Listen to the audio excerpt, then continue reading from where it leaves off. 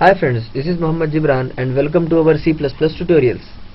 In this tutorial, I'll explain you about another conditional statement that is switch. So what is the need for going another conditional statement when we already know about if? Let me give you an example to explain you.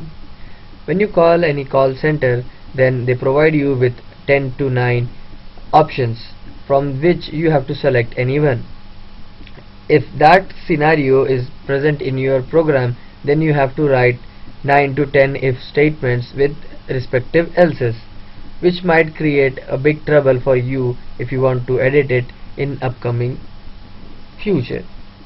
So to avoid that we have a keyword which is which is switch which makes a life lot easier. So let me explain you with this suppose if you have a condition and it is satisfied the condition 1 is suppose satisfied then it will do the instruction written over here. If this condition is not satisfied the switch case will go and check for these conditions. And if it if it these conditions are satisfied then it will go and run this code of block block of code. And if the, both of them are not satisfied then it will go and check the third one and it will execute the code written over here. If none of these three are satisfied then it will come out of these conditions and it will display the default instruction. So let us write a program to explain all this and show you how it works. So I'll declare two variables integer then let's make this integer static. Let me take the values from the program itself.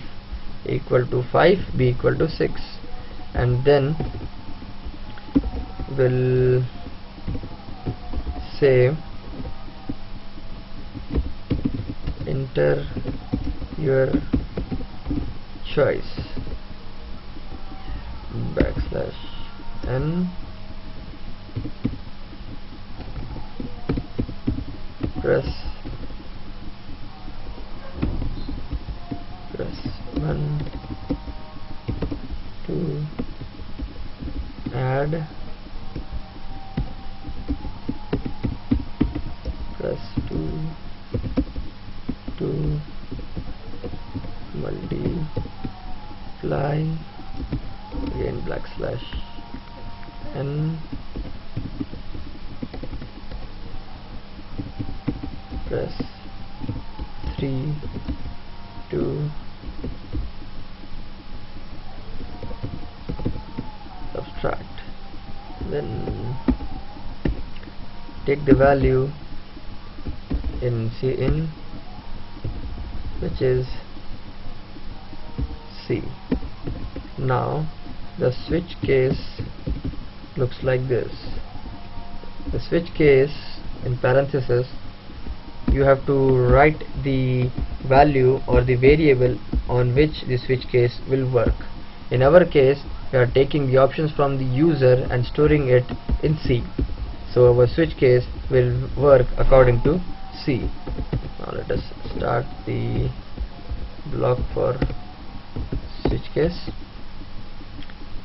Suppose if the user presses 1 so what do we need to do?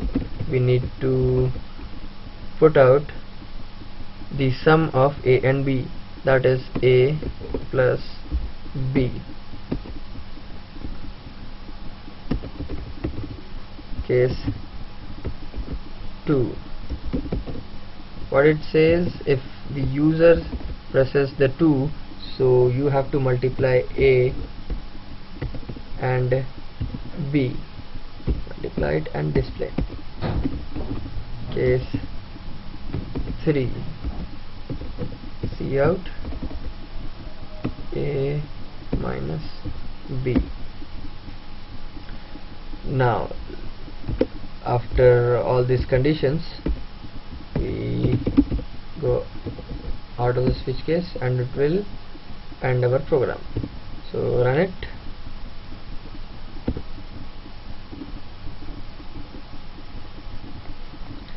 Enter your choice press 1 to add press 2 to multiply press 3 to subtract. Let me say 3 enter minus 1 our a is 5 b is 6 so 5 minus 6 is minus 1 so our program run work fine. We'll write one statement cout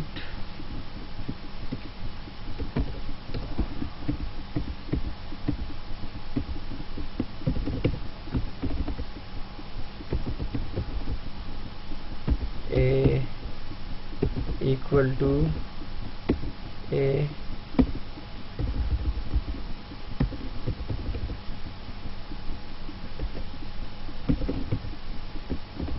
Out.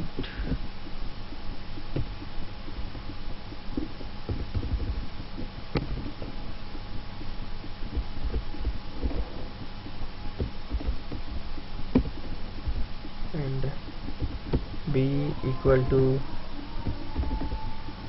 b okay?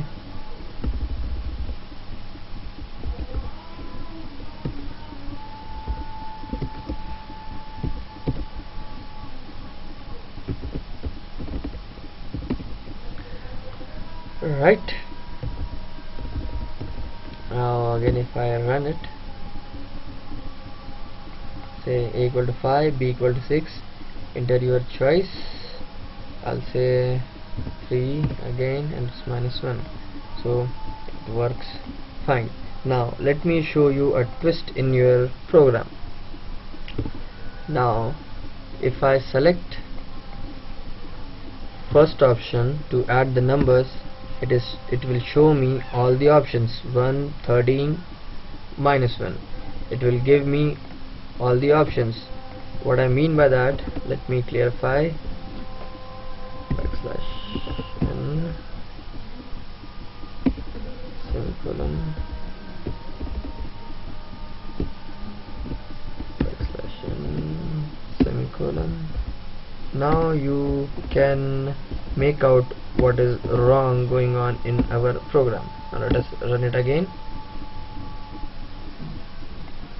I'll again say 1 to add 11 30 minus 1 when you add 5 and 6 the answer is 11 when you multiply 5 and 6 the answer is 30 when you subtract 5 from 6 is when you sub subtract 6 from 5 the answer is 1 so if you see all the options are getting displayed all together. This is the first problem and we'll go and see the second problem. We have options 1 2 3 suppose if I press 7 it does not does anything it just ends up the program. So let us fix both of them. To fix the problem of displaying all the options together we have to add this break. Just this simple line will stop the occurrence of all the option what it does it after you press the case 1 and uh, that is executed it will come out of this loop this after the you press 1 your compiler will come and uh, do whatever task done is written over here. After that it will come out of the switch case and it will end up the program. So now our first problem has been solved. Let us check